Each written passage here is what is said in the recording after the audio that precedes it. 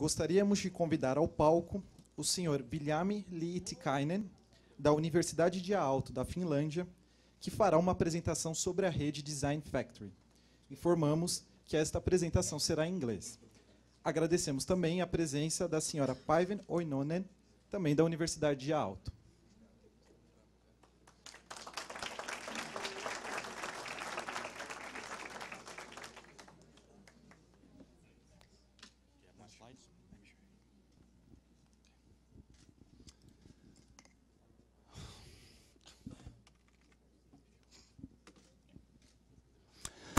Okay.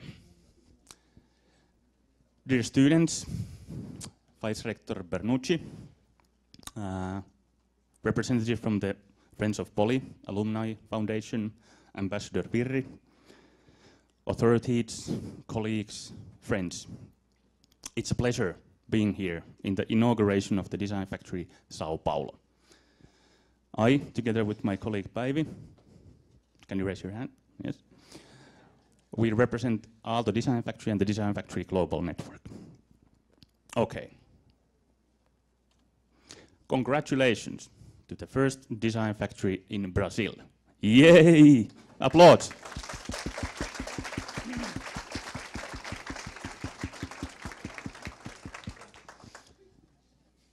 the topic that was asked to present a little bit is what actually is a design factory? Well, to describe the goal and mission, that's very simple. Our goal and mission is to educate the world's best product developers.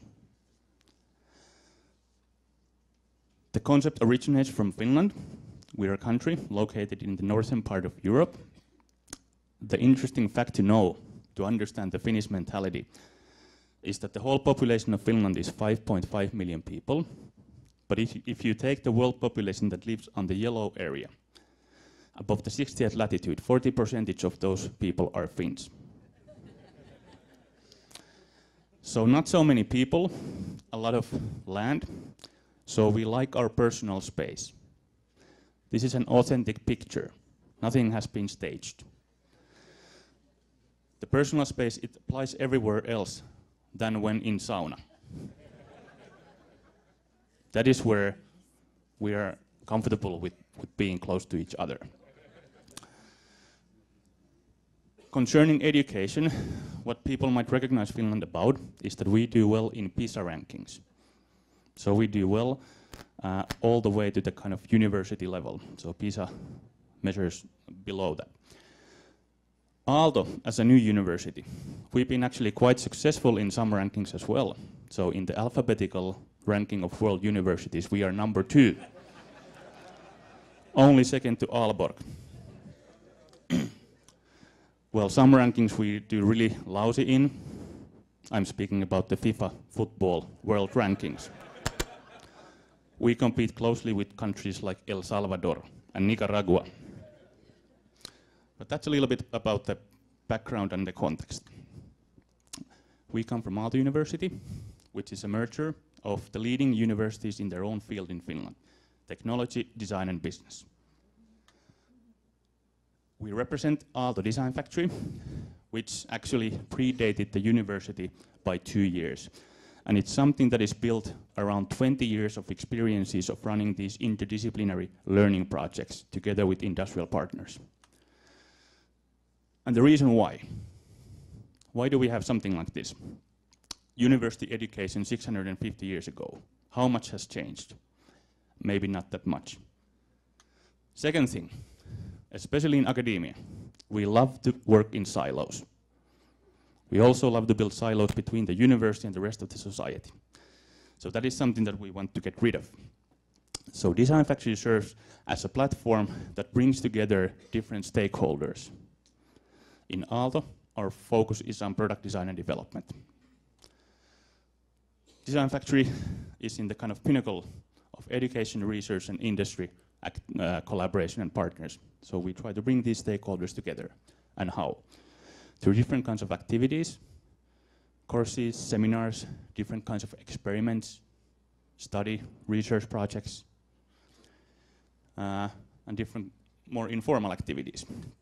In practice, what we have, so we have spaces that support hands-on and prototyping activities.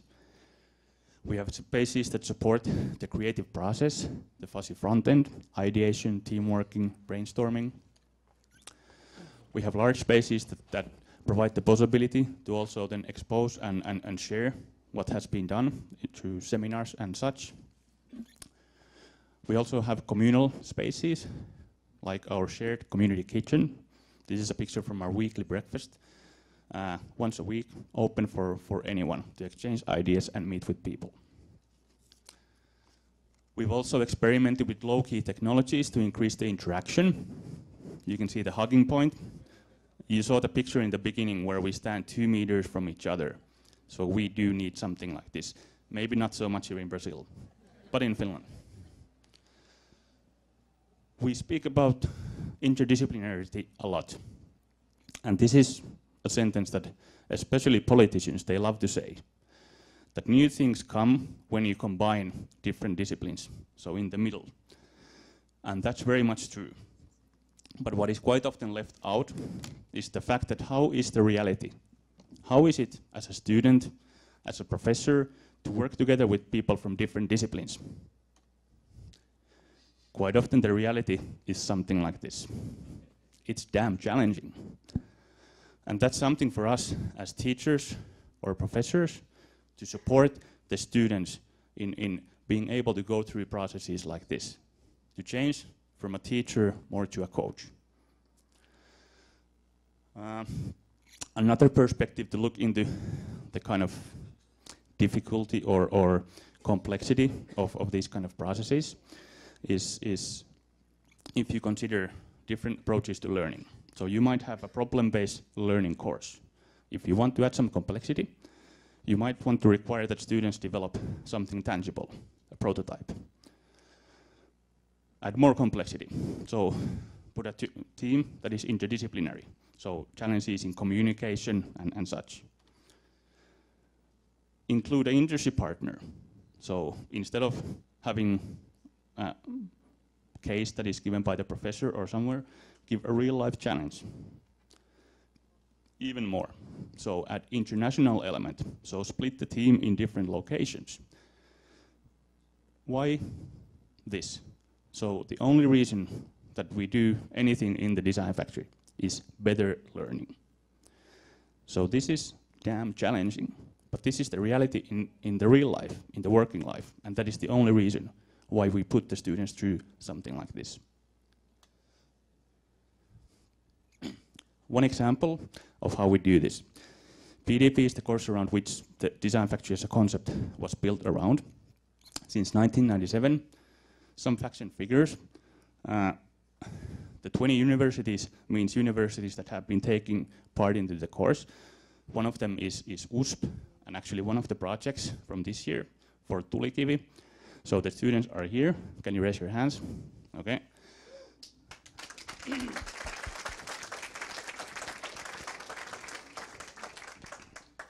We didn't want to put that project here, so when we finish, go and talk and interact with them and also with the other, other students. So on this course, we work with industrial partners. Some you might recognize, larger, established international companies, uh, but also others. This picture is from a year ago for the company called Kone, which is a Finnish elevator and escalator company. And the problem that they gave for the students was that the elevator doors and how they operate have remained the same for 100 years. So they open to the sides, which means that there's a lot of space uh, not utilized because you need the space for the door to open.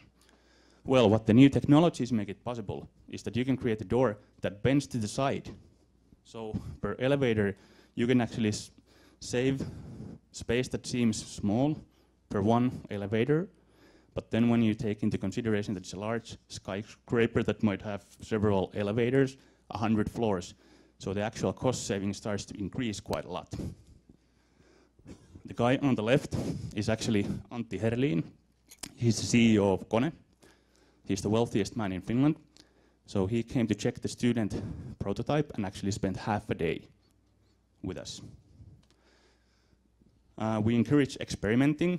This is project done for Philips Medicare, uh, where the task was to uh, find ways to keep patients still during X-ray treatment. And what the students are now developing and experimenting is a really quick approach to testing of using vacuum principle to suck the air out to keep the patient steady. And these are the things that make the life of any professor interesting when you need to explain to the financial department that why did the students go to a sex shop to buy the latex sheet for this kind of approach. Testing. Um, this is our welcome to Finland picture from April. So this kind of international learning on this kind of project, it's, it's also very much about learning and adjusting to different cultures. We have some priorities. One of them is that at the design factory, the students always come first. What that means in practice is that if we have the president of Switzerland together with the president of Finland coming for a visit, it's the students who tell what they've been doing, not us. Or if the Finnish prime minister come, the same thing. The guy here, this is Perttu Karjalainen. He's the CEO of one of our startup partners. What their company Entocube is doing is they're developing uh, or they're growing crickets and insects for food production to solve the uh, food and, and food producing challenge for the growing population. Uh, and just before this picture, uh, they asked the prime minister to taste those insects. The funny thing is that this is still illegal in Finland to sell insects for food production. But what the prime minister said that, okay, is it really so? So please send a notice to my assistant and let's see what we can do. So it's also about this mix of people that you might run into within the design factory platform.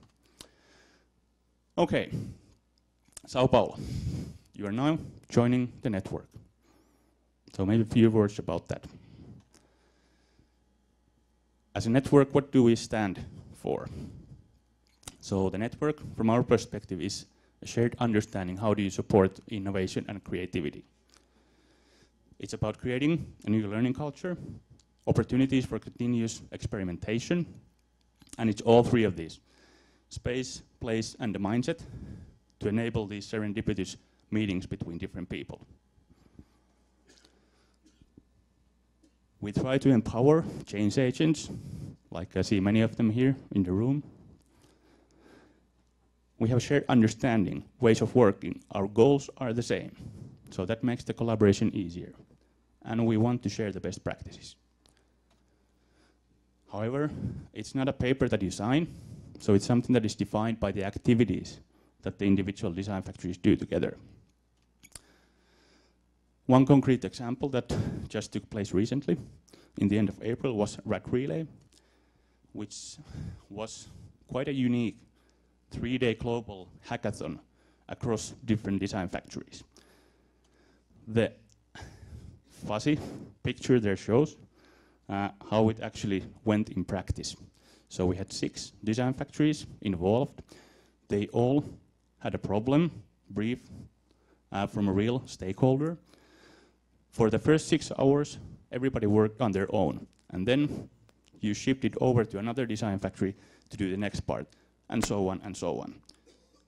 After six, uh, after five slots, for the last slot, number six, the briefs came back to where they started from. The idea was to simulate real life situation where it, it's quite rare that you, as a professional, are able to carry out a project from the very beginning until the end. So usually you need to be able to contribute to a certain part of the process. Really, really interesting. Uh,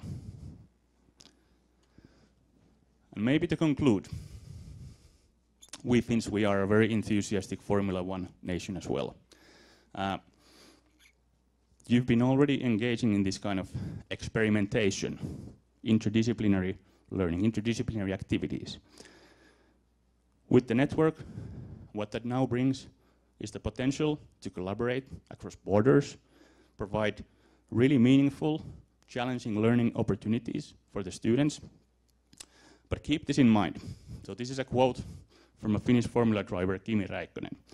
which I think applies very well to all kind of change uh, efforts. Whenever you think you have everything under control, you're not just driving fast enough. So keep that in mind. So drive and go forward so fast that you start to lose control a little bit. Thank you.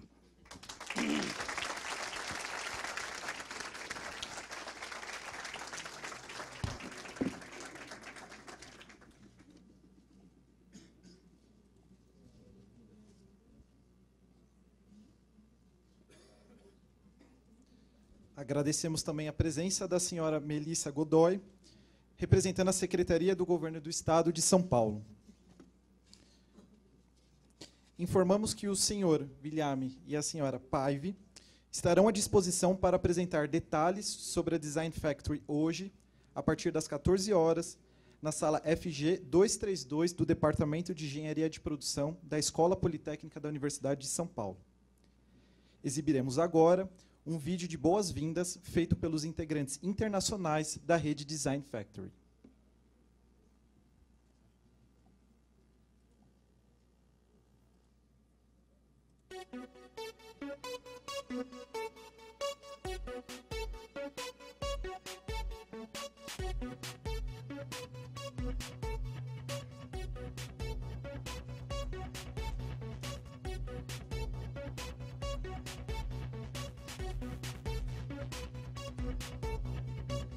Welcome to Design Factory Global Network. Together, we can make education fun again.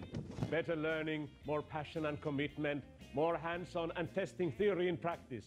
All you need is love, design, engineering, and business.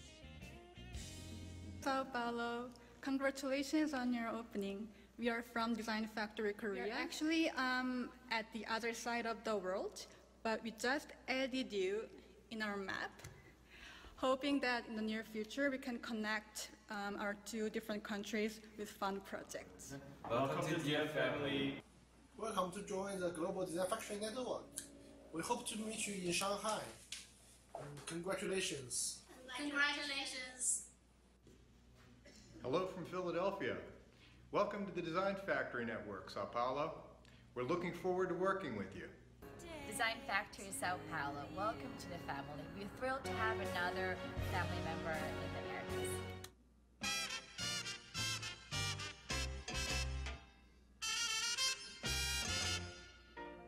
Hola amigos del Design Factory de Sao Paulo, bienvenidos a la familia, la red global de Design Factories. Más cercanos que tenemos hasta ahora, esperamos que podamos hacer muchas cosas en el futuro. Un abrazo para todos. Ok. Congratulations, Design Factory Sao Paulo! Hi, this is Jolien. And Steve. From Ghent Design Factory. We wish you very much luck with the opening of your new design factory. Congrats. So congratulations to USP, to the University of Sao Paulo for its brand new design factory and for becoming part of this wonderful network.